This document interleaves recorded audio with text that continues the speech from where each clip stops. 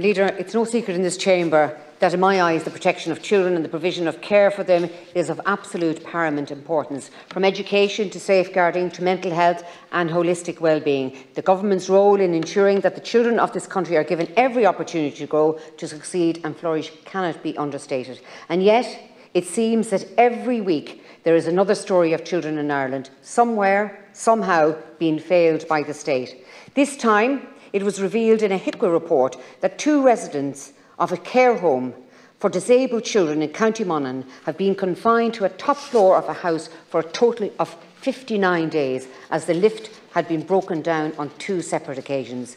Wheelchair-bound children in state care, trapped in their own building. It sounds like a horror story of yesteryear that gets trotted out to remind us of how much we've progressed. But of course, this is here and now. The report from HIQA reads, the provider had not responded appropriately to either incident and had not put in place alternative arrangements. The provider had also failed to notify HIQA regarding the issues that the lift or the impact it had on residents on both occasions. During this time, the children could not attend school. One missed an appointment. They could not engage in limited activities on the landing of a first floor and they were forced to take their meals in the upstairs office area. On top of this, the centre was deemed to be not compliant in eight regulation areas, inclu including fire precautions and resident rights.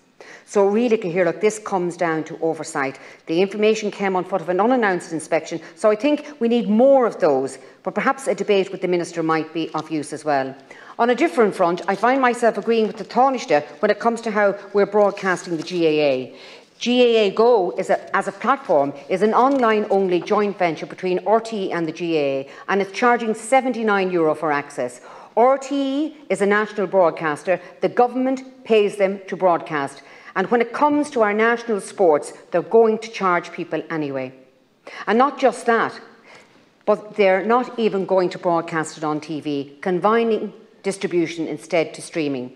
It really is unacceptable especially due to the barrier that it creates for older GAA fans who mightn't have the means or the knowledge to access this premium subscription service.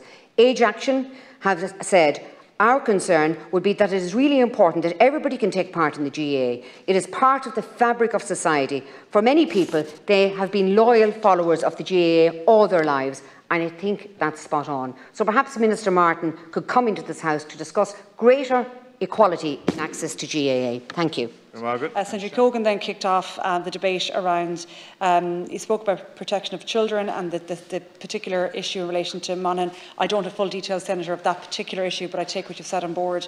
Um, and it is just very distressing for those two children that they couldn't get to school or couldn't get down the stairs and there was no lift. I think that's just unacceptable and I'm not sure how any facility thought that that could persist for that length of time. I think that there's serious questions to be asked there and I'm only glad that it was discovered. Uh, it seems just by chance really um, but uh, just uh, hopefully that situation has been resolved now. But the debate then around GAGO and the uh, pay for premium subscription that the GA and RTE are now putting forward to um, to, citizen, to citizens and to, to to fans and supporters of the GAA. I think many senators contributed to that debate this morning.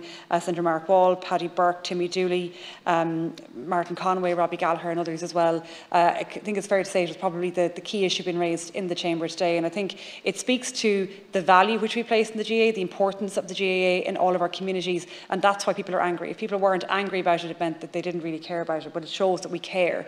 Um, and I do think that the GAA should reflect on this particular decision. There's two aspects to it. One is um, the access, because many, many people in this country don't have access to quality broadband to even use the prescription subscription if they wanted to.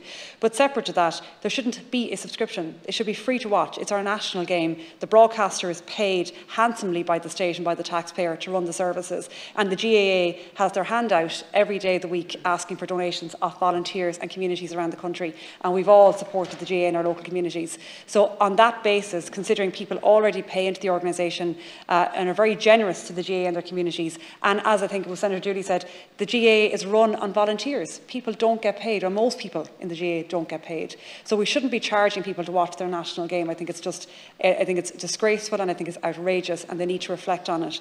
And I have put a request into the Minister for um, Tourism and Sport, uh, uh, Catherine Martin, to come to the Chamber and have a debate on it. I'm sure she would share our concerns also on this particular issue, but it would be good to have that debate nonetheless.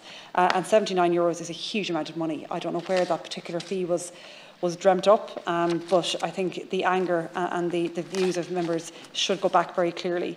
Um,